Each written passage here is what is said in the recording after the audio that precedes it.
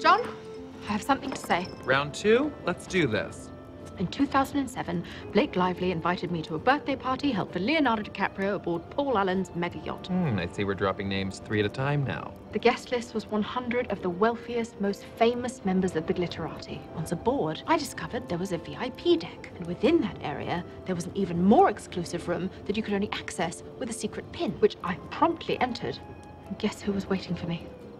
Uh, I hate to admit it, but I have to know who. No one. I was the only one there. The party raged on outside, but I was so obsessed with status that I never left. I spent the entire night talking to no one. Riveting story. If only it were longer and sadder. The point is, if all you care about in the world is the velvet rope, you will always be unhappy, no matter which side you're on. You and I are proof of that. But now we're here. Can we just start over? Well, if we're gonna be friends, I need to say something.